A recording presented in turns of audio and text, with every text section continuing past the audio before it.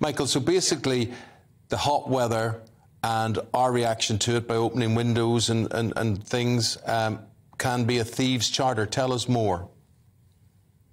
The problem is the hotter it gets, the more we tend to leave doors open, windows open, and this gives the op- the opportunist burglar a chance to break into your property uh, through the open windows and burgle you while you're asleep upstairs scary thing, isn't it? That burglars are, are, quite happy to, to come in even if the house or home is occupied, and mm. it could happen even in, in broad daylight. So, what are thieves looking for then? Should people never leave their windows and doors open, or is there a way of doing that safely? You can leave windows open if you're downstairs.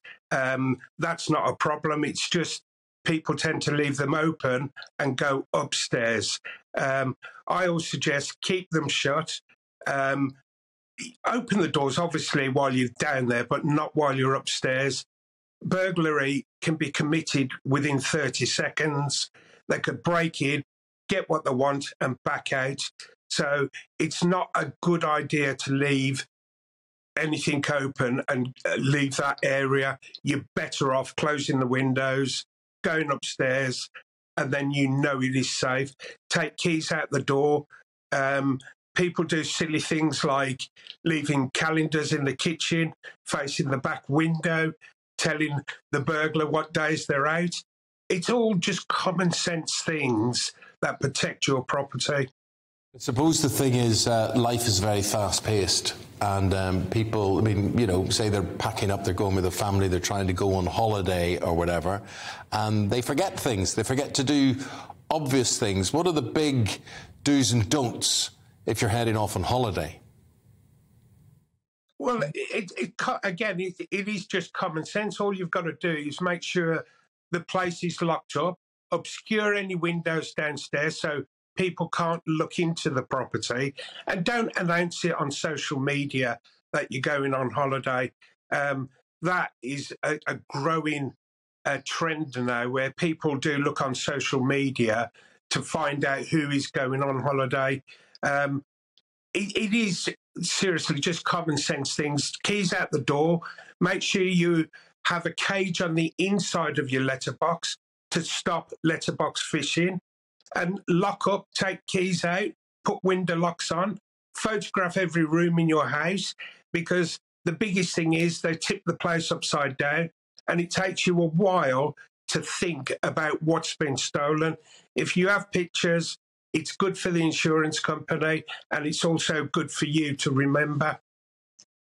Uh, Michael, just tell us a little bit about how you saw the error of your ways. You describe yourself as a former burglar, so presumably um, you don't do that anymore.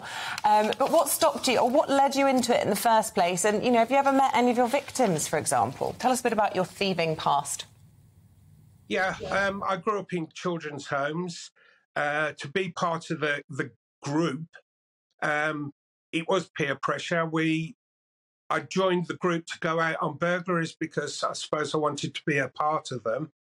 Um, at the age of 17, even though I'd grown up in uh, institutions, um, I got caught for receiving stolen goods. And my social worker, which was very good, said to me, You're on your way to prison. Even though I'd grown up in institutions. Uh, the thought of prison frightened me to death and it made me change my way. If I'd have gone to prison, that would have lived with me for the rest of my life.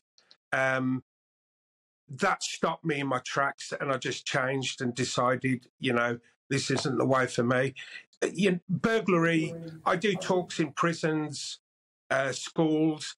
Burglary, you commit it, you sell your items, You've got no remorse. It's only when you do face the victims that you realize what you've done to somebody else, that you realize the pain you've caused. Um, I was glad to get out of it. And what I do now is just try and help people uh, really protect their property.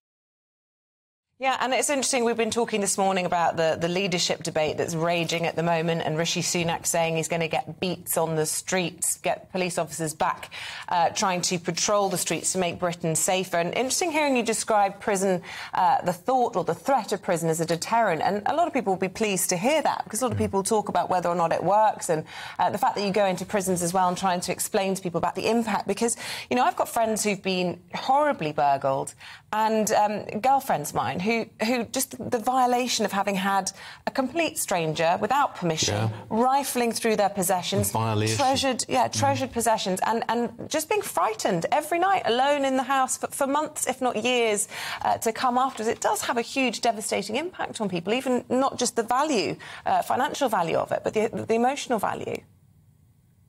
It does. The problem you've got is um, the police haven't got the resources to sort out burglary. It's very low down on the right of things that are serious. It's only if they've assaulted the person or, you know, um, they're recognised. So it's very difficult for the police to sort it out. What we've got to do is ourselves look at our own security. I always say, look at your property. Imagine you've lost your keys. How would you get into it? Because believe you me, the opportunist finds that way very quickly.